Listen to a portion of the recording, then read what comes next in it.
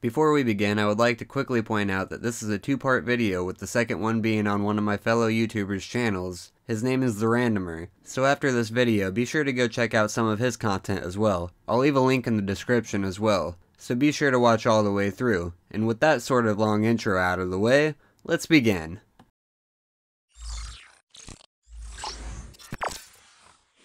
The mecha genre of anime has always seemed to pop out to the majority of the anime and manga community. With giant robots flying around battling each other, it just adds on another form of escapism for our power-hungry minds. All the way back in 1995 when the first episode of Neon Genesis Evangelion started to air, an anime was still a guilty pleasure in your room because you were too afraid to get laughed at. All the way to the present day where every weeb and otaku are no longer scared to show who they really are. Regardless of these aspects, when Evangelion made its first appearance, the whole community was left in a daze because something that was only achievable in our childhood minds was being brought to the television. However, this video is not about the beauty of Evangelion and its impact, rather another mecha show that remains in our hearts this being Gurren Lagann. Gainax has continued to be the fuel to the giant mecha machines we see in the past, having created shows such as Fooly Cooly, Gunbuster, and Nadia, but in April of 2007 they created a masterpiece. Not saying that the previously mentioned shows are not also masterpieces, but bear with me for the sake of this one.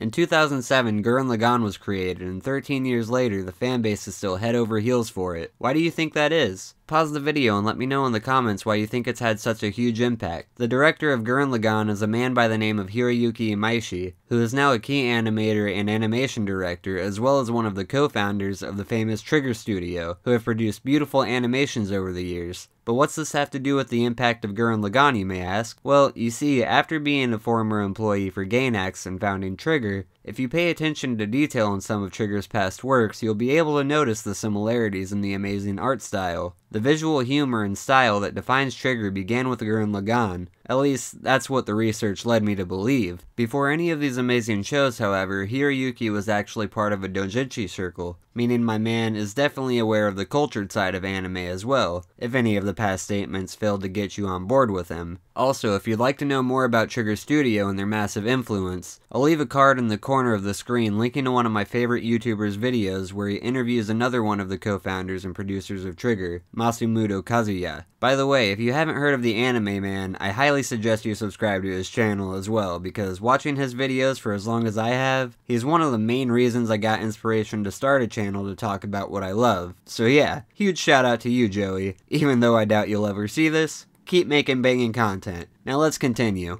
Gurren Lagann is set in a future world where everything is ruled by the Spiral King, who if you haven't seen the show somehow is a complete and utter asshole. He forces everyone to live in isolated subterranean villages who are constantly in panic of earthquakes and have no contact with the surface world. More or less, they're fucked. Follow alongside our main protagonist Simon as him and his fellow diggers follow his dream and journey to reach the surface world with their giant mechs. That, however, is only the general synopsis of the story as it can mean the world to so many people in pursuit of following their dreams no matter the obstacles, which is just another reason why I love not only this anime, but this whole entire community, not including how well the animation is done in this show, with Atsushi Nishigori being Gurren Lagann's character designer, but the whole cast did an outstanding job for this anime that so many people would say it was ahead of its time when it first came out. Gurren Lagann spread so much faster than anyone would initially have thought back in 2007, having adapted not only anime, but manga, video games, and more, which not only was fantastic for the community, but I do have to say that strategy was and is a great way to capitalize and build, which for Gainax turned out to be sort of a downfall seeing as Trigger Studios was created and they lost Hiroyoshi, which if you can't tell from the previous parts of the video is an absolute legend.